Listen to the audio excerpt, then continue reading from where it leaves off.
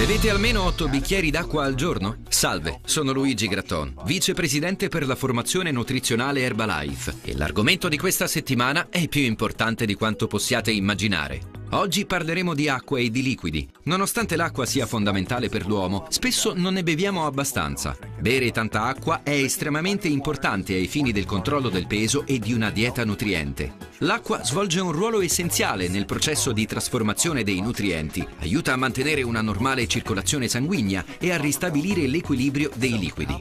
Ma quanta acqua bisogna bere? Come regola generale è consigliabile bere quotidianamente da 6 a 8 bicchieri d'acqua da 240 ml circa. Se svolgete attività fisica dovete berne di più per reintegrare i liquidi persi con la sudorazione. Dopo ogni mezz'ora di allenamento bevete 2 bicchieri da 240 ml per reintegrare i liquidi del corpo. Portate con voi una borraccia d'acqua per mantenervi idratati durante gli allenamenti. Tenete presente che soft drink e succhi di frutta per il loro contenuto elevato di calorie non sono molto indicati per reintegrare i liquidi perduti. Potete però aggiungere qualche goccia di succo di frutta o una fettina di limone per dare un po' di sapore all'acqua semplice semplice. Nella scelta delle bevande da usare, un ottimo criterio è leggere le informazioni nutrizionali in etichetta. Per esempio, le bibite gassate o i drink alla frutta spesso abbondano di zuccheri e calorie e contengono pochi nutrienti. Scegliete drink con meno di 100 calorie ogni 240 ml. Non vorrete mica riacquistare con pochi sorsi tutte le calorie che avete appena bruciato sul tapirulan.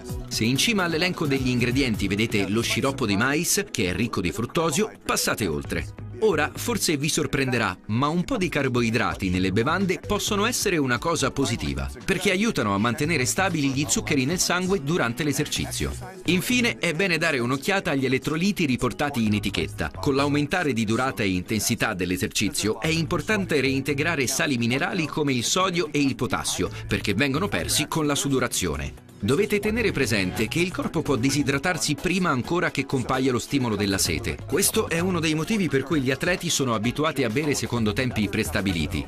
Bisognerebbe bere due tazze da 240 ml di liquidi due ore prima dell'esercizio e un'altra tazza, sempre da 240 ml, 10-20 minuti prima di cominciare. Inoltre, 50 ml circa ogni 15 minuti durante l'attività possono evitare un calo eccessivo di liquidi. Imparate a riconoscere i sintomi della disidratazione durante l'esercizio, come crampi muscolari, sensazione di stordimento o spossatezza. Se cercate un'alternativa sana alla semplice acqua, le bevande isotoniche H3O Pro e Hydrate della linea Herbalife 24 potrebbero essere un'ottima scelta, perché contengono la giusta quantità di carboidrati a rapido assorbimento, non contengono caffeina e apportano gli elettroliti essenziali che si perdono con la traspirazione.